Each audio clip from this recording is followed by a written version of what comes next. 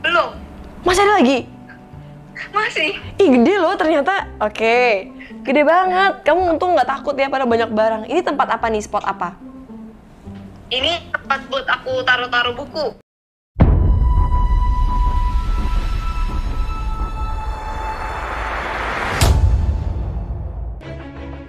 Natasha Wilona tampil memukau dalam konser bertajuk Danamon New Life Experience Vol 2, yang berlangsung semalam, Sabtu, tanggal 2 April tahun 2022, di G Expo Kemayoran, Jakarta Pusat.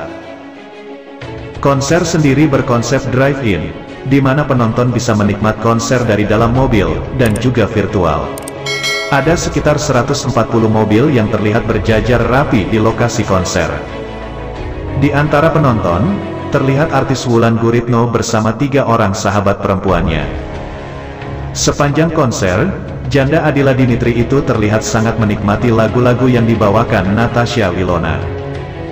Ia bahkan sampai membuka pintu mobil dan duduk di atas jendela mobil. Tapi yang paling mengejutkan adalah kehadiran seorang Ariel Noah dalam konser Natasha Wilona. Mantan kekasih Luna Maya dan Sofia Latjuba ini rupanya secara khusus datang untuk menikmati konser Natasha Wilona.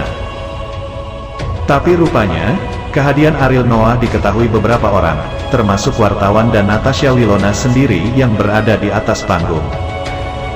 Natasha kemudian memanggil Ariel dan memintanya untuk naik panggung. Di manakah Ariel yang lagi nonton? Di manakah Bapak Ariel saya mau tahu dong? Oke Ariel boleh turun, kata Natasha Wilona meminta. Apalah artinya, masa aku nyanyi lagu ini sendiri di sini? Siapa yang setuju Ariel nyanyi di sini sama aku? Agak susah dibujuklah Ariel. Eh turun dong, Natasha Wilona. Selanjutnya, yuk simak kembali berita terbaru yang kedua. Kisah cinta Verel Bramasta memang acap kali menjadi perhatian publik. Bahkan banyak dari warganet yang berharap agar Verel Bramasta dapat kembali menjalin hubungan asmara dengan sang mantan kekasih Natasha Wilona. Terbaru, Verel Bramasta dikabarkan ingin istirahat akting dan mencoba hal baru di dunia musik dengan membuat boybandnya sendiri. Bahkan Verel Bramasta mengungkap bahwa lagu-lagu dalam albumnya merupakan isi perasanya yang ia berikan pada seseorang di masa lalu, yang tak lain merupakan Natasha Wilona.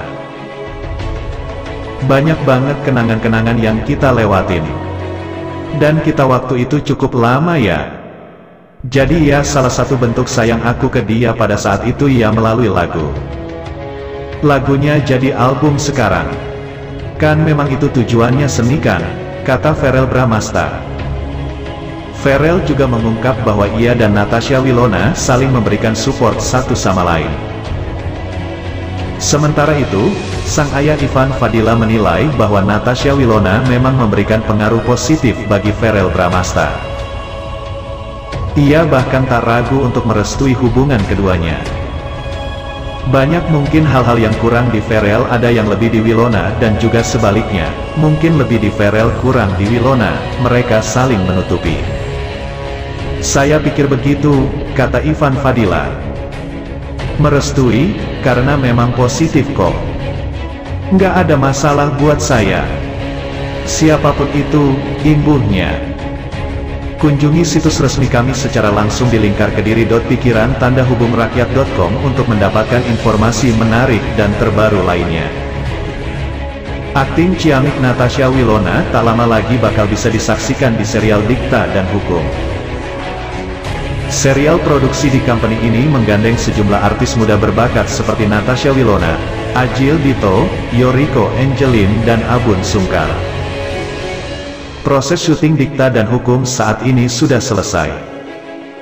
Natasha Wilona dan pemeran lain pun sudah melakukan sesi fotografi untuk keperluan poster digital. Namun, pihak rumah produksi masih belum membocorkan jadwal penayangan serial yang bakal mengudara di WTV ini. Dikta dan Hukum termasuk salah satu serial paling spesial bagi Natasha Wilona. Sebab, Natasha Wilona sampai menolak tiga tawaran film layar lebar demi serial ini. Alur cerita yang menarik dan karakter tokoh yang diperankannya membuat Natasha Wilona tertarik bermain di serial ini. Dalam serial ini, Natasha Wilona berperan sebagai tokoh Nadira. Sebelumnya, kisah dikta dan hukum pertama kali dipublikasikan oleh Diaan Farah di Twitter. Pemilik akun @kejeffreyan itu mendapat ratusan ribu likes saat mengunggah cerita dikta dan hukum. Alur cerita yang dinilai menarik membuat Dikta dan Hukum sukses diangkat menjadi serial. Nantinya Dikta dan Hukum akan tayang dalam 10 episode. Sutradara Hadrah Daeng Ratu dipercaya untuk menggarap serial remaja